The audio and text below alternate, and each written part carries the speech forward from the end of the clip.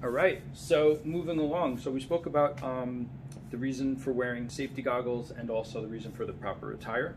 So speaking of safety stuff, uh, safety gloves. Okay, it doesn't matter if you're in a medical, biological, or chemical situation, right, or at a job. Um, there is a proper way to take off the gloves. So let's think about this. First, I didn't get into this, but there are many different types of materials for the gloves. There is a horrible story from many, many years ago now, but a chemist was working, she was working in uh, Pennsylvania with a very poisonous uh, substance, uh, methyl mercury.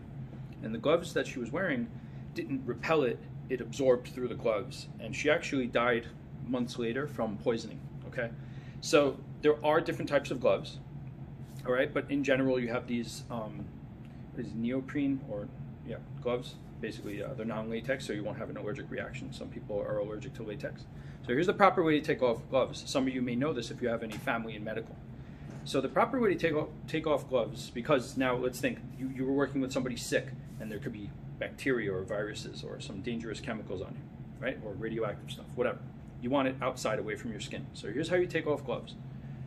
Uh, I'm a righty, I'll start like this, but what you want to do is pinch without touching your skin, right? You really don't want to touch yourself. You want to pinch near the wrist of this glove and totally, completely turn it inside out, okay? All right, so now you have this glove inside out. Hopefully nothing was touching the inside, that's the whole point. So now take this glove that's inside out and use that inside out glove to grab this glove and turn this totally inside out. So if you if you did this carefully, that means that anything on the outside of these gloves should have never have touched you. And then these go in the basura. Okay, so there you go. That's how we take off uh, safety gloves. Uh, let's move on to the next thing I wanted to show you.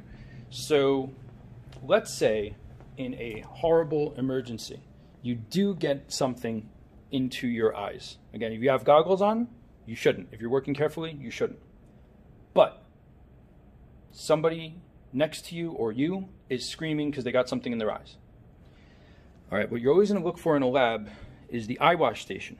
So, first, always use cold water because cold water at a low temperature make sure that chemical reactions slow down. If you use hot water, that is a bad idea. Never try to clean chemicals off of you using hot water, okay? Because that will speed up the reaction with your skin. So turn on cold water all the way, and then you pull that knob, okay? And as you can see, the water comes out like crazy, and there's a, there's a point to that, all right? When you have chemicals burning your eyes, you turn this thing on and you shove your face in there and you keep your eyes open, okay? And you rinse them for like 15 minutes, 20 minutes. Like you don't move, okay? So you just open your eyes. If somebody's got stuff in their eyes, you help them, uh, you help them like open up their eyelids and you get them immediately over to an eye wash station, okay? even in the middle of like having somebody else call an ambulance or something like that. Okay, so emergency eye wash station, you use cold water and you keep rinsing your eyes. You know, don't let somebody go, oh, I feel better. Like, no, no, no, no. Like, keep rinsing your eyes for a long time. Another thing that you should look for in a uh, lab or a job that has dangerous chemicals is uh, chemical eye wash. This can even be used if you get something on your skin, okay? So while somebody is helping somebody uh, who maybe got something in their eyes continue washing their eyes out, what you would do is you take the seal off of this, okay, this is an eye wash station, and you help the person hold their eyelids open and you dump this into their eyes because what this does is it helps stop many chemicals from reacting. So if you got an acid in your eye, this will stop the acid.